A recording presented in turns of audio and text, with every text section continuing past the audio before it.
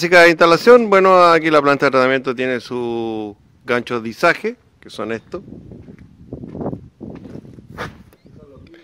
Esto.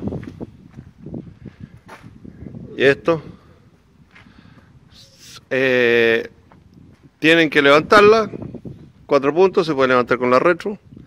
Se baja, se tiene que poner en un radier de 20 a 15 centímetros, con una malla interior y la planta se puede anclar ya sea en las orejas de izaje como en estas patas respectivamente están aquí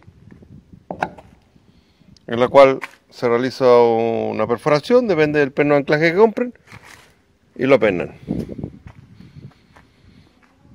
Para el relleno se contrató bueno ya vimos que tiene la arena suficiente entonces lo ideal sería que tuviera arena hasta el nivel donde se el cordón o hasta los cuellos, por ambos lados.